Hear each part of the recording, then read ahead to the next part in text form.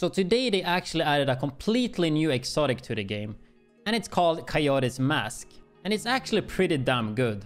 So before I talk about the actual exotic, so how do you actually get it?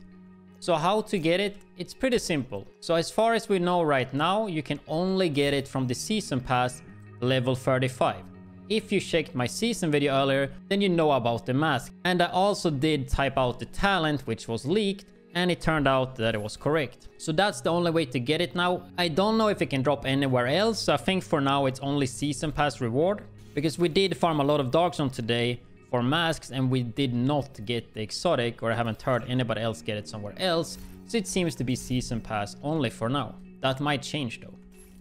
So I guess something worth noting is uh, the rolls that you actually get seems to be at least max weapon damage every time. And decently high rolls here, at least on the like 70% uh, plus side. So pretty fair. You cannot recalibrate it since it's exotic and you can't craft an another one.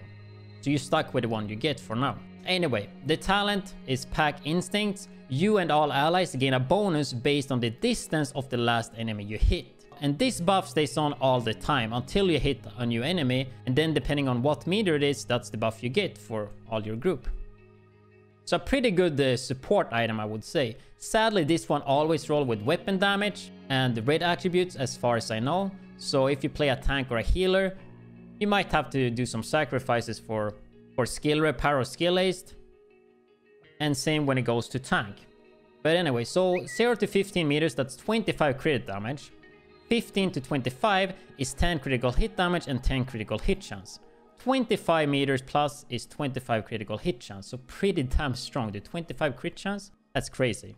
And uh, we actually did test this, so this one does stack. I will show you some footage of that uh, on the screen now. So as you can see in the footage, you can have two different buffs on, and that will work. But if you guys have the same buff, you will only get one. So I think this could be pretty useful in a setup where you have a a healer, for example, that usually far back, and he would use this, he could get a 25 meter one, which is the critical hit chance. And then he doesn't shoot the gun. Like, a healer doesn't shoot the gun much, right? So he shoots once, and then it's kind of fine. And maybe he shoots the NPCs here and there when he can, but he can always keep the 25 crit chance up most of the time, right? And then you might have a tank that's at a closer range, and he would try to get the other buff the 25 critical hit damage or the 10 critical hit damage and crit chance. So that's basically how it works. So if you look at the UI below the, the ammo, so when the arrow below is white, that's when you have the, the first buff, which is 50, uh, 25 critical hit damage, right? And if we go to 15 meters, then it's gonna look like this. Okay, I guess we need 20 meters then. Now we're gonna get another buff. Yeah, then we have uh, in the middle, it's white, right? And then the furthest away one, I don't think we have a... That one might count? No. Yeah, that one counted. And that is the furthest away buff, 25 crit chance. So actually a pretty cool set. Uh, I'm a big fan of this, but I would have liked if it wouldn't roll weapon damage. Because I feel like it would have been really good uh, for tanks and healers.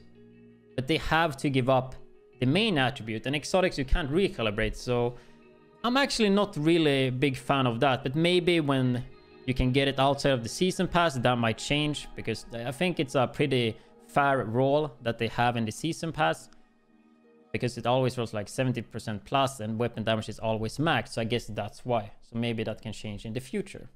But yeah, I just wanted to make a quick video showing the mask because I'm pretty sure a lot of you guys haven't reached the level 35 in the season pass. Anyway, thank you guys for watching this video and see you guys in the next one.